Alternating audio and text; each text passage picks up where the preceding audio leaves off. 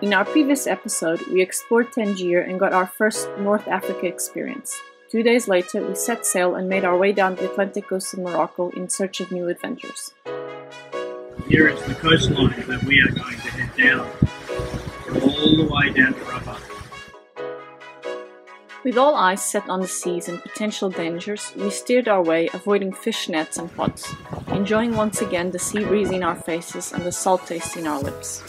As usual, Ella was fascinated with the waves and birds, but soon enough she got tired and took the first watch break, cuddling up for a snooze on the cockpit seats.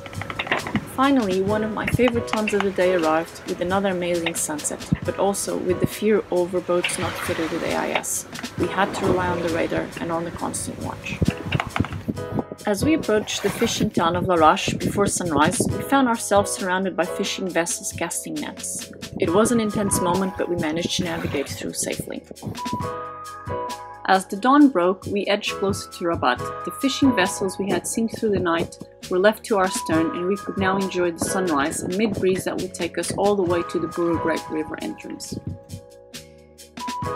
After a difficult sandbar crossing, we motored upriver, passing the many fishing boats moored on the riverbanks, while closely guided by the Marina pilot boat.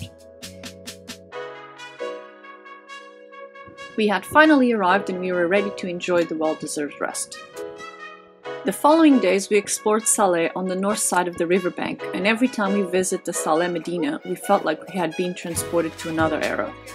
We were the only Westerners to be seen. People were mostly wearing traditional clothes, and the only language spoken was Arabic. Despite the French legacy and our experience in Tangier, where we could easily speak with the locals in French, here buying vegetables could be challenging. We were fascinated, and the food? The food was great and made on the spot. Traditional pastries, flatbread, you name it. We took great pleasure discovering the riverbanks together with Ella during the early hours of the morning. Watching the fishermen laying and retrieving their nets across the river inlet while Ella swam in the shallows.